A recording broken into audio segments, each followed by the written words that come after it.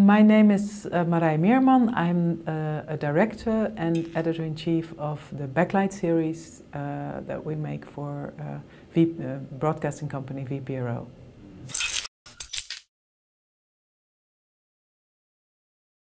After the fall of Lehman Brothers in uh, 2008, um, I was not someone who read the uh, economic section uh, in the papers, um, but after the fall of Lehman Brothers, I was really, uh, like so many other people, amazed by, uh, by the impact that the, this financial sector could have on the whole um, economy. And so uh, I decided just to dig into the subject and, and, and decided that this should be the topic that I would like to make films about. Um, I then found an op-ed of written by George Dyson. Um, he's an author and son of Freeman Dyson, the famous um, uh, physicist uh, who works at Princeton. And um, George Dyson wrote this op-ed um, in which he spoke about the quants. And I had never heard before of quants. Um, and he explained that quants are the people who are writing the algorithms on which the financial industry, um, the financial sector functions. Um, and these are people, normally everybody's al always talking about the bankers, but the quants are the people that um, yeah, write the infrastructure on which uh, uh, the whole sector uh, functions. Um, and he was um, sort of uh, not blaming them, but sort of exposing them uh, to the world. So I found it so fascinating that I decided that I would love to um, show who these people are, um, just because I knew so little about them, and um, because the uh, the fact, the the, the, um, the, cause of the financial uh, uh, uh, crash, uh, where these mortgage products in that were um, issued mainly by American banks, um, and that these uh, these pr mortgage products were based on an algorithm. Um, and I, wrote an uh, I read an article about the person who wrote this algorithm, this quant. Um, and that's why I decided that I would like to portray these people. In the end, it was impossible to find this person because he it was a, someone with, from Chinese descent and he uh, fled to China. Um, with the idea that these people are sort of, you could say them, sort of the Oppenheimers of the financial system in the sense that um, um, they're working there, they're writing, they're helping the markets function, but um, not necessarily not necessarily know what the impact is of uh, um, the work they're doing.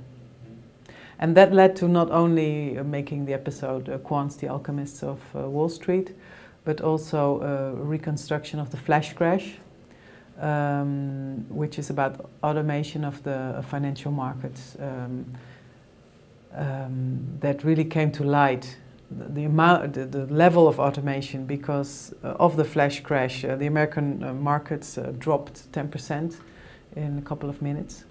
So, um, and then after that, I made the episode "The Wall Street Code" um, on Haim Bodek, uh, which is a story about a quant uh, who felt betrayed by by the by the exchange that he was trying to work on. So it was a trilogy in the end that I made on the automation of the financial markets. Well, I was very naive uh, starting uh, working on that uh, portrait of quants in the sense, and uh, it showed especially in the fact that I thought that people working for companies would like to talk to, uh, to me, would want to be interviewed, but uh, it soon turned out that nobody wanted to be interviewed, that people working within the financial sector um, sort of hardly ever talk, or maybe they give a short interview to uh, uh, Bloomberg or the Financial Times, but only within their own uh, uh um, uh, arena or bubble. Um, so I sort of started, yeah. So who was just sort of was uh, making sort of a circle around quants working within the sector. So who would be people who uh, knew quants or are quants, but are not within the corporate structure. So um, I came to talk to the person that's writing the handbook for quants. I spoke to a student, a quant student. I spoke to um, uh, uh, a guy that's um, working for, has his own company, his own boss, and he's um, um, uh, sort of cleaning market data to make it available for um, everyday um, traders. Um, I spoke to, oh, it's a long time ago. I spoke to the person who wrote the original software on which the um, mortgage-backed securities were based, who wrote it, uh, I think, already end of the 90s, um, and who was already um, left Wall Street and uh, started uh, being an, an oyster uh, fisherman uh, in front of his house. He had a, a very luxurious house, um, uh, upstate New York, and not so much to do, enough money to be bored and then uh, suddenly realized that the water in front of his, uh, his, his, villa was also his, and that originally a lot of oysters were being um, um, had grown there. So he became an oyster fisher. So he was delivering oysters for chic Wall Street uh, uh restaurants uh, now and harvesting them. Um, so in a way, I spoke to the people. Um, yeah the observers, the people that were had been inside, who wanted to get in the sector. So the so these were the people who wanted to talk to me, and and the entourage. That's the right word. So I spoke to the entourage um, of the of quant world in that sense, um, and I was maybe most shocked by the fact that I spoke to a quant student and uh, we had a very nice conversations. We filmed filmed in his class uh, at university, and then uh, when we wanted to do the interview, uh, he suddenly called me and said, um, "I'm sorry, I can't uh, do the interview because I'm too afraid that if I talk to you, I will won't be able to find work when I finish my studies." And um, it was really very yeah, uh, and I couldn't talk him into it again. So then we decided. Uh, I was just sort of freaking out, like, you know, how can how can I find a solution? Because I found his perspective uh, on the narrative very interesting. Like because he's he wanted to enter the sector, he wanted to become a quant. So I asked him to write a sort of a short diary uh, on his motivation, on his background, on his motivation. Um, what he liked so much uh, uh, in this uh, world of this quant world, and um, and then he was willing to um, read that out loud for me. And so, in that sense, then the whole episode became, in a way, the diary of an aspiring quant. Um, but that was just by accident. That was something that, that happened on the last day of shooting in New York before we had to uh, catch our last flight. This is money okay? And Espen's talking about making money, making money, making money. Every year you're making money, and then one year you blow up. Now, the difference between this being your money and it being a hedge fund is if this is your money, fantastic, you're making money, you're down here, you're bankrupt. If it is somebody else's money, if it's a hedge fund that does this, every year they're taking a percentage, they're taking some of that as profit, as their bonus, effectively. So they make some of that, they make some more, they make some more. All of this money they're putting into their own bank account. And then when they lose money, that's their client's money that's lost. It's not their money. The Backlight series is being broadcasted on Dutch television, uh, 28 episodes on a yearly basis. And um, the best of our, our, our, episodes are being translated now and subtitled in English, German, French and Spanish for a worldwide audience. And uh, we're very proud that the European community gives us the opportunity to uh, to provide this to this uh, in these four major languages. And um, it's always in the back of our minds, every topic that, that we're working on, uh, how much could this be interested, in what way could this be, this be interested, interesting for an international community and, um, um, and, and along the way also uh, have sort of, in a way, sort of a Dutch angle on, on uh, global affairs in all different aspects. Uh, uh, that we're presenting, and, and sometimes also Dutch architects or uh, people from Dutch finance or um, scientists or uh, whatever we try to yeah mix in our, our stories. Well, because um, uh, Backlight is now already in existence for 16 years. This is our 16th season. And um, we realized that um, uh, after the fall of Lehman Brothers on the 15th of September in 2008, for 10 years now we have been reporting on the global impact of the financial crisis. Uh, and we decided that we are future, future affairs, but we decided that sometimes it's important to uh, also look back to see where you come from to know where you will be going to. Um, so we went uh, through our archive, I think at least 25 episodes that one way or the other had to do with the impact of the financial crisis this last decade. And uh, we sort of um, tried to get this into a very condensed story of uh, 45 minutes. And we uh, went back to three people. Um, Izabella Kaminska, she's a journalist uh, for the uh, financial um, newspaper, Financial Times.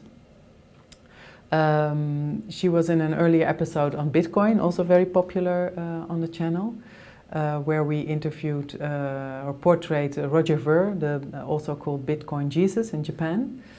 We went back to Anne Pettifor, an economist from London, um, who we interviewed already twice. Once just after the financial crisis happened, where she predicted the, the, the rise of uh, populists um, after the, the, the, financial crisis would uh, sort of deepen, especially with the euro crisis uh, coming. And uh, Nomi Prins, she's a former banker who worked for Goldman Sachs, also for Lehman Brothers, for Bear Stearns, and she's an author now.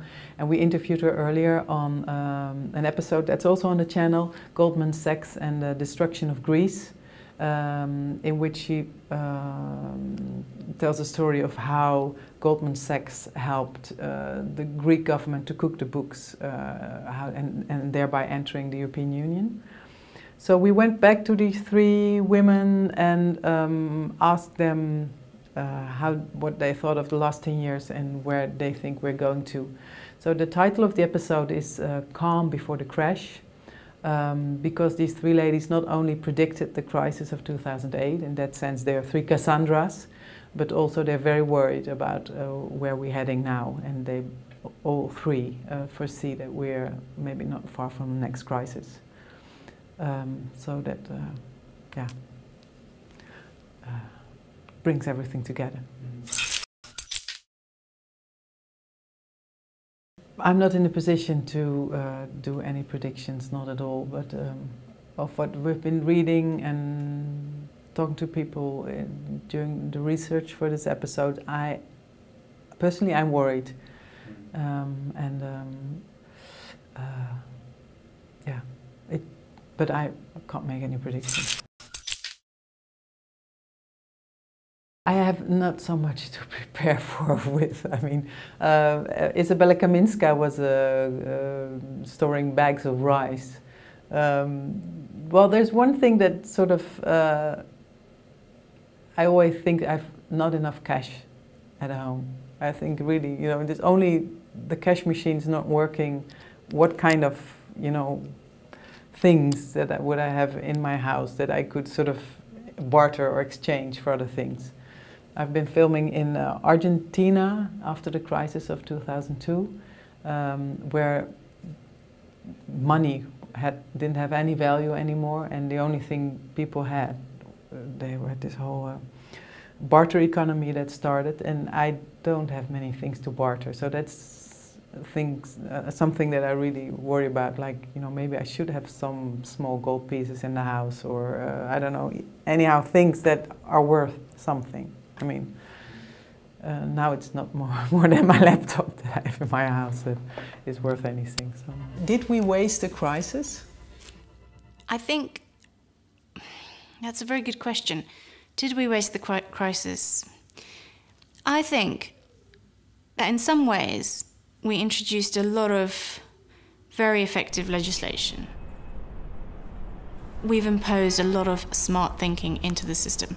The problem is, all that regulation has just created an incentive to ignore uh, everything we've learned and start again, making the same old mistakes we were making before.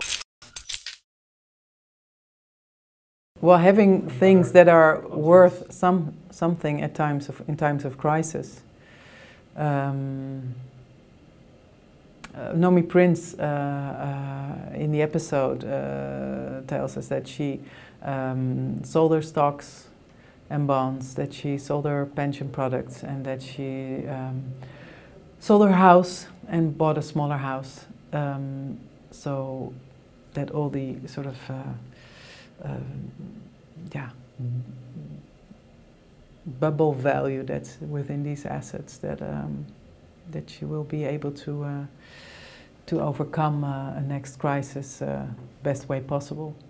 But and then there of course is this whole movement of, of the ultra rich that go to New Zealand and uh, buy land, uh, citizenships, uh, transfer capital toward New Zealand, but I'm afraid I'm not within that category. I'm, I do not have any Bitcoin, uh, so I'm just uh, uh, uh I, am a complete outsider. But I, what I find interesting about the phenomenon of, uh, phenomenon of Bitcoin is that it created a new one percent, a one percent that is so different from what used to be for so many times the the the one percent. Um, so people are really uh, uh, have a very different worldview, very um, much against government, uh, nerds, uh, very much into technology, um, a lot younger than most uh, most of the one percent um, that were there before. So uh, so I, in that sense, I find it a fascinating uh, uh group of people mm-hmm. that I think uh, is uh, interesting to follow up on, maybe for our next episode. Mm-hmm. No, we're not. Sorry, can be short. I mean, but what's? I mean, that doesn't mean that we won't be preparing. But uh, there hasn't been a director yet who has uh, proposed a story that, uh, to, uh, on blockchain. Also, it's a very interesting but also very difficult topic to visualize. Mm. So that's uh, with all topics on the financial uh, sector also, but also Bitcoin and blockchain, it's really difficult how to visualize, uh, how make a visual story on these kind of uh, topics. So um, yeah, so I know it's difficult, but I would be. I personally would be interested to see it. I would love to. Yes, um, and uh, going through all the uh, all the older episodes, I think uh, a follow up on the automation of the financial sector um, is really something that I would love to work on. I'm, I do not know yet how and when, and um, but I think uh, somewhere in the future. If, if, if I have to choose one of the documentaries that I made for uh, the, the Backlight series, I think um, Money and Speed Inside the Black Box, which is a reconstruction of the flash crash that happened on the American financial markets in 2010. And what um, I personally find fascinating about this story is that it's still not clear till this day what really happened. Um, so the Americans accused um, a day trader that live, was living with his parents close to Heathrow Airport um, that he was sort of the mastermind behind the flash crash and they even uh, got the English so far that they extradited him uh, to the United States. Um, but within the community, nobody takes it seriously that he was the one that uh, or was sort of the, the, the, mastermind of the of, of this uh, enormous um, drop on the financial markets. Um, so I think there's still no conclusion. So um, maybe that could ask for a, a follow-up. Um, but I, yeah, I would be curious to come back to this story and see uh, where it is now, and um, yeah, what we need one day to find out what really happened and what were the causes of this flash crash. And you recommend this one? Yeah, yeah, yeah. Because I maybe people have uh, could help. Yeah, who done it? Yes, right. solve the story. On May the 6th, 2010, at 1400 hours, 42 minutes, 44 seconds, and 75 milliseconds, an E mini future traded on the Chicago market begins to show erratic price swings. The fluctuations affecting this E mini, an important indicator of market moods, soon spread to other shares within the US, ultimately leading to the fastest and most dramatic fall of Dow Jones ever nearly $862 billion go up in smoke, albeit briefly. Thank you for watching. For more on this subject, take a look at the playlist. You can also watch this recommended video. Don't forget to subscribe to our channel and we'll keep you updated on our documentaries.